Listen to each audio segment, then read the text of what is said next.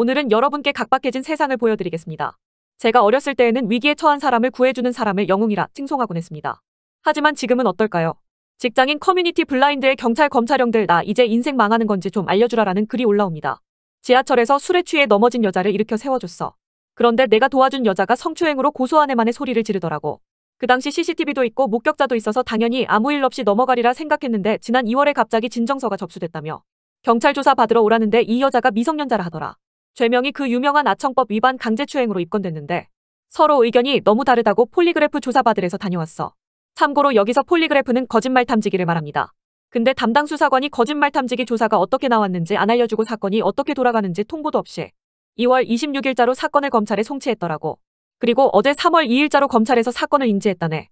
여기서 더 큰 문제는 내가 3월 1일자로 기간제 교사 취업을 했는데 기간제 교사도 공무원이니까 사건 송치된 걸 우리 교육청이나 학교로 통보하는 거야. 난 당연히 억울하다는 입장이라 불기소가 나올 거라 믿어 의심치 않는데 괜히 내 이미지 박살나는 게 아닐까 걱정이야. 다음부터는 여자가 넘어지거나 그래도 그냥 못 본 채 지나가라 형들 괜히 도와줬다가 인생 꼬이게 생겼어. 이거 만약 여자의 일관된 진술 타령하면서 유죄 나오면 나 인생 망하는 거지? 라고 말하며 이 남성은 검찰 사건 조회에 대한 사진을 첨부합니다.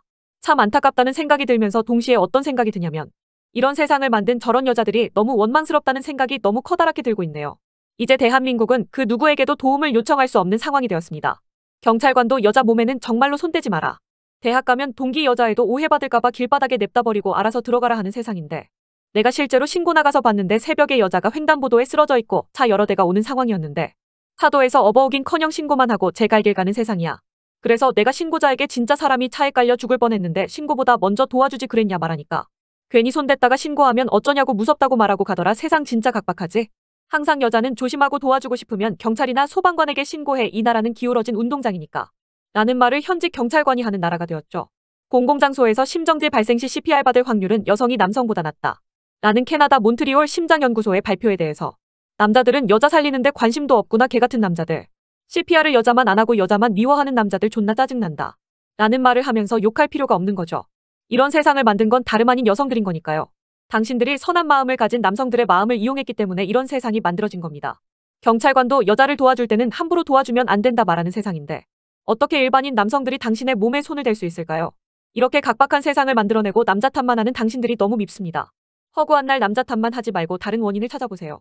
이기적이고 음흉하게 행동하며 남성들의 행동에 제약을 걸어버린 건 우리들이니 말입니다. 날이 추워졌습니다. 다들 감기 걸리지 않게 조심하시고 길거리에서 안 좋은 일이 발생하면 괜히 시비에 걸리지 말고 도망쳐주세요. 여러분의 몸은 여러분이 직접 지켜야 합니다. 영상 여기서 마치도록 하죠. 여러분의 구독과 좋아요는 은희가 영상 만들 때 마시는 커피 값에 커다란 도움이 됩니다. 오늘의 한 줄 요약. 남자를 욕할 게 아니라 널 욕하렴 여시야.